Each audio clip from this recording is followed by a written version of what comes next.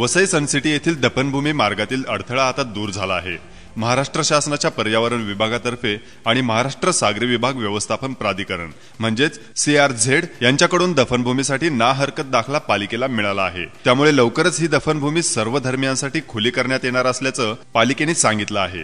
वसईतील Protestant ख्रिस्ती मुस्लिम आणि लिंगायत समाजाच्या दफनभूमीचा प्रश्न बिकट बनला होता प्रोटेस्टंट पंथियांसाठी एकही दफनभूमी नसल्याने त्यांना मृतदेह हे अंत्यविधीसाठी मुंबईला न्यावे लागतात वसईतील मुस्लिम धर्मियांसाठी ही लोकसंख्या वाढत असल्याने शहरातील एकमेव दफनभूमीची जागा अपुरी पडू लागली आहे शहरातील वाढत्या लोकसंख्येमुळे दफनभूमीचा प्रश्न निर्माण झाला होता मुस्लिम समाजाला दफनभूमीसाठी जागेअभावी मोठी अडचण निर्माण झाली होती प्रोटेस्टंट ख्रिस्ती धर्मियांना तर जागाच नव्हती यामुळे दफनभूमी बनविण्याची मागणी ही जोर पकडू लागली होती त्यांच्याकडून आंदोलने देखील होऊ लागली होती यासाठी पालिकेने सर्वधर्मीय दफनभूमी बनविण्याचा निर्णय घेतला दिवाणमान सर्वे क्रमांक एकशे शहात्तर व एकशे सत्याहत्तर मधील अकरा एकर ही महाराष्ट्र शासनाच्या मालकीची जागा आहे ही दफनभूमीसाठी आरक्षित आहे ही जागा सर्वधर्मीय दफनभूमीसाठी मिळावी अशी मागणी पालिकेने ठाणे जिल्हाधिकाऱ्यांकडे गेली होती ऑगस्ट दोन हजार अकरा मध्ये हा भूखंड पालिकेला मिळाला आणि दफनभूमीसाठी जागा नसल्याने कायदा व सुव्यवस्थेचा प्रश्न निर्माण झाला होता आणि यामुळे दफनभूमीचा प्रश्न दिवसेंदिवस संवेदनशील होत गेला या सर्व बाबींचा विचार करून वसई विरार शहर महानगरपालिकेने दफनभूमीचे काम सुरू केले आहे या ठिकाणी माती व भराव करून संरक्षण भिंत बांधण्यात आली आहे मात्र या दफनभूमीला स्थानिक नागरिकांनी विरोध केला ही दफनभूमी सीआरझेड नियमांचे उल्लंघन करत असल्याचे सांगत दोन हजार सोळामध्ये सुनील मुळे यांनी राष्ट्रीय हरित लवादाकडे याची तक्रार केली होती आणि दफनभूमीची भिंत जमीनदोस्त करण्याचे आदेश दिल्यानंतर पालिकेला स्वतः उभारलेली भिंत पाडावी लागली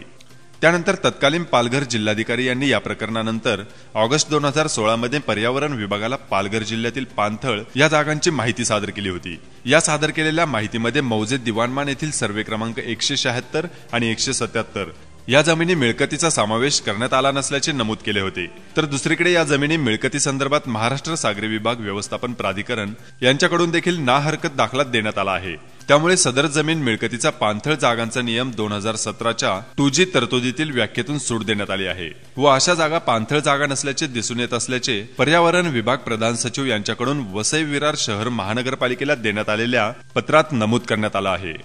त्यामुळे आता पर्यावरण विभाग आणि महाराष्ट्र सागरी विभाग व्यवस्थापन प्राधिकरण यांच्याकडून पालिकेला ना हरकत दाखला मिळाल्याने या दफनभूमीचा मार्ग आता मोकळा झाला असल्याचे पालिकेने सांगितले पर्यावरण विभाग आणि महाराष्ट्र सागरी विभाग व्यवस्थापन प्राधिकरण यांच्याकडून पालिकेला ना हरकत दाखला मिळाला असून त्यामुळे ही दफनभूमी लवकरच सुरू करण्यात येणार आहे